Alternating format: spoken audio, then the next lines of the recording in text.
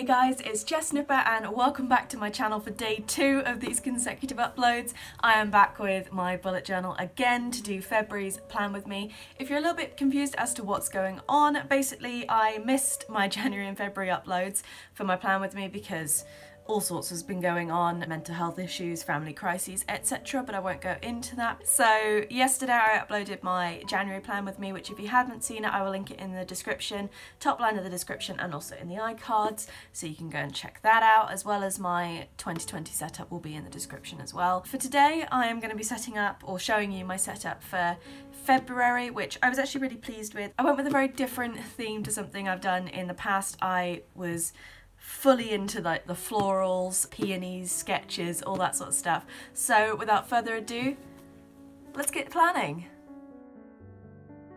Okay, so starting out my February plan with me, I'm just going to do a really quick flip through of my January spreads. If you haven't seen this already, then you can go and check out the iCard Obviously, I haven't shown you how I filled out my expenses tracker because I don't want people seeing what I've spent where, but you can see how little I use my dissertation tracker and how little I, I read in January as well. But yeah, you can see why I didn't like some of these spreads. They just really didn't gel with me. So my weekly spreads I was really into, and my interview spread for Stonehenge I loved. But I also did this little collage for my favourite character from Singing in the Rain, Lina Lamont, and then this was the last setup that I hadn't actually done for January at this point. But let's move on to my February setup. For this, I went with peonies and I wasn't really sure how I was going to colour in the peony, and it looks better on camera than it did in person but I want I didn't know whether I wanted to keep it black and white or whether I was going to add the pinks in so I went in with all of my different sizes of Hobbycraft fine liner, a 05, 03 and 0.05 and then I went around it with a grey zebra mild liner, a dark pink Tombow dual brush pen. I used the pen nib side, not the brush side, and then I used this nice slightly pinky red zebra mild liner as well to do these off kilter frames around it, and then I used my Faber Castell brush pen to write February. And I like the Feb, not the Rueri, if that makes sense, on the title. Just looks a little bit squished. But then I went in with this really light Tombow pink and this slightly darker pink. I will link the codes and everything as that I use as always in the description below.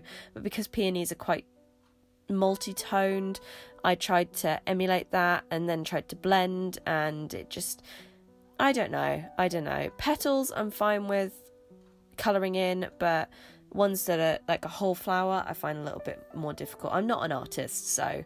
But then I did away with like a big month at a glance, and I tried to do the vertical, semi traditional bullet journal setup. So I've got like a little mini month at a glance at the top, and this is my personal month at a glance basically. So I put all like social, uh, meeting up with friends, deadlines, all that sort of stuff, and then on the next side of that Dutch door.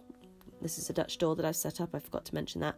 I had my social media tracker, which I didn't use at all, my social media month at a glance at all. And then I lost footage again, so you didn't see me set up all these little other modules or write that quote, but that's beside the point. But then I'm on to my budget spread. So this is my expenses, and I'm using the Tombow Fudenosuke hard tip brush pen. I really got to grips with it during this month, during February, and I loved using it. I used my Pigma Micron black fine liners as well as my Hobbycraft fine liners throughout this, but my budget tracker was really different in February. So I had this top table was my bills, so tracking when my bills went out, and then I split up my expenses between food and drink, pet supplies, and miscellaneous. And it actually was really interesting seeing exactly where things go for me because I do tend to spend a lot when I'm out and about on food. So that was really quite interesting. And also, I was still working at Morrison's at this point. I was working early morning shifts, so I was finishing at um, 9 a.m. So, yeah, I was always buying breakfast and stuff. But then I just went in with those same Tombos to highlight the different, um, the titles and everything on those tables, as well as writing fixed expenses with my darker Tombow and using my Muji 0.38 gel pen. I love this pen so much. It's so diddy and so small. It's so good for writing on tables like this. So I use that to write in the titles of the tables and the titles for the columns. And then I drew this peony down in the bottom right hand corner. And I like how this one turned out because I used the pinks, but I also used my grey uh, zebra mildliner as well on the leaves. I was like, did I want to put green in there? And I was like, no, I'm going to make the pink the star of the show. So I went in with a couple of greys. So I went in with a grey zebra mildliner and some grey Crayola super tips. But first of all, I'm outlining everything with my Pigma Micron and my Hobbycraft fine liners. These Hobbycraft fine liners were a freaking steal. I think I got them, I got like 10, 12 pens for less than like a fiver. So, if you're looking for some really good fine liners that don't flatten very easily, because that's what I find with fine liners, they can flatten really easily, and even my Pigma Microns have. Um, honestly, these Hobbycraft fine liners are really worth it for the little amount that you pay for them compared to the longevity that I've had out of them. It's so worth it.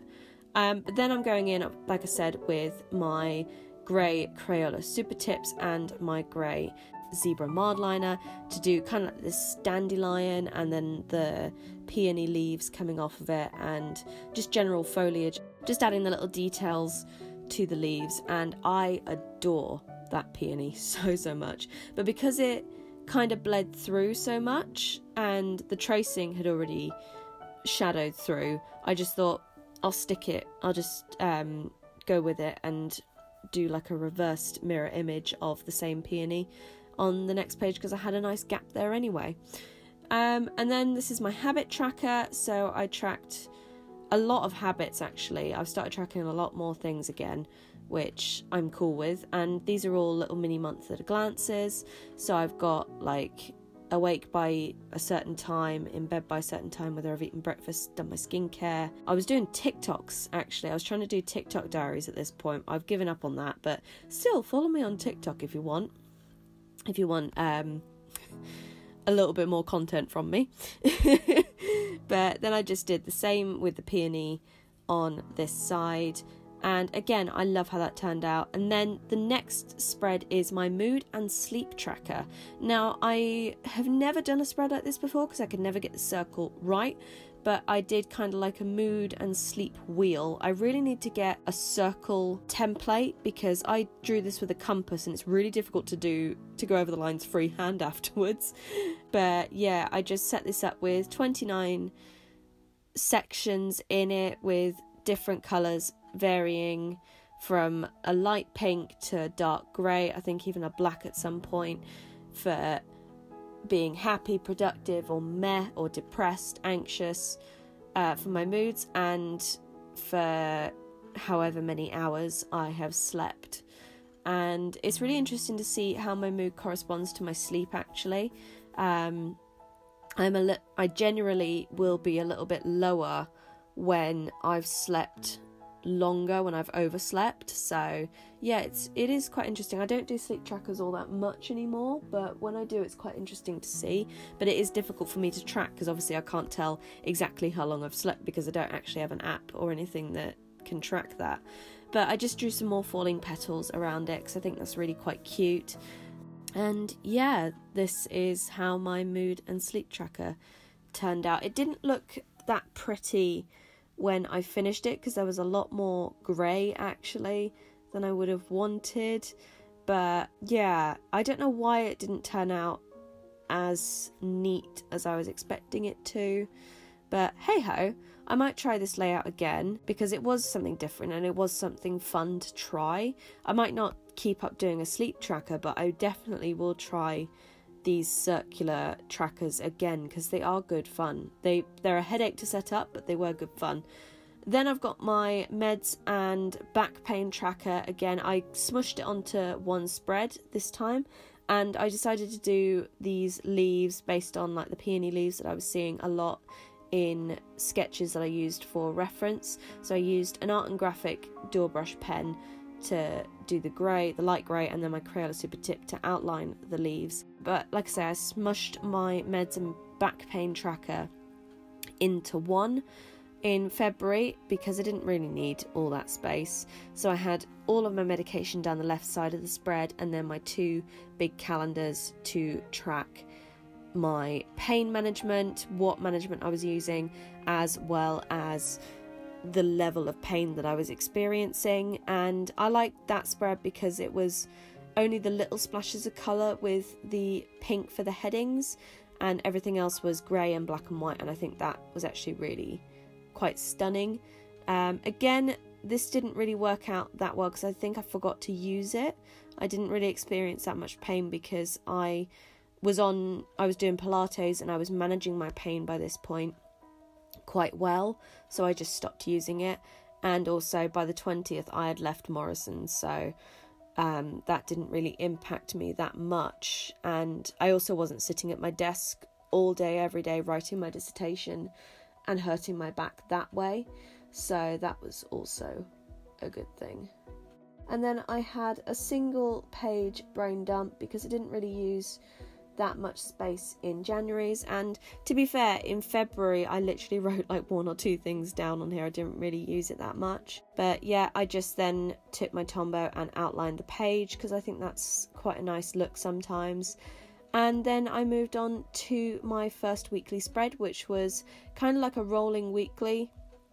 So I only used what space I needed. I wrote down each day as the day arrived and I had a little events sidebar on the left there and I just drew these little this little bunch of flowers that are kind of like peony shaped. And yeah just kept the color quite minimal with this. Again I like how this one turned out because I didn't have a lot of tasks that I really needed to do that week because the main thing was handing my dissertation in on that Monday. So yeah it kind of was more a bit of like a memory capture spread in the end but I'm going to do a flip through of my 2019 journals at some point. So by the end of this year, I will be doing a flip through of my 2020 journal or journals. So you will be able to see how all of these weekly spreads ended up being used, which will be quite interesting.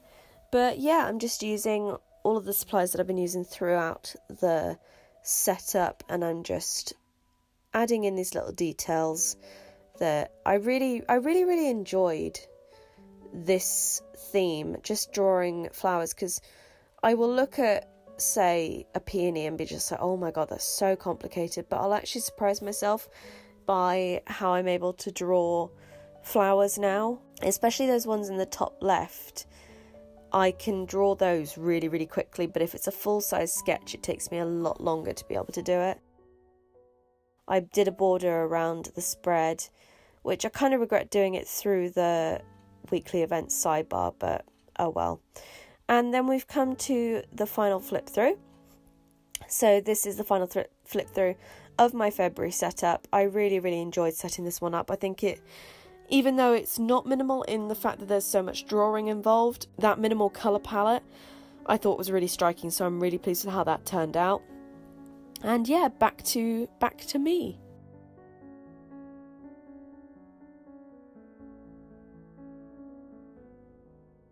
And there we have it, that concludes my February 2020 plan with me. I hope you guys enjoyed it. Let me know what you think in the comments down below. Let me know if you like doing florals in your bullet journal, what florals have you done? It might give me a bit of inspiration because I usually just tend to stick to peonies or I tend to get really overwhelmed and just go, no, I ain't drawing anything, nope. Um, so let me know uh, down in the comments below any ideas for future themes, any video requests that you have down in the description. I'm going to try and upload a bit more regularly from now on because I realise I miss doing this and now I don't have university, I can. So yes, I will see you tomorrow for the final of my consecutive uploads when we do my March plan with me and I will see you then. Bye guys.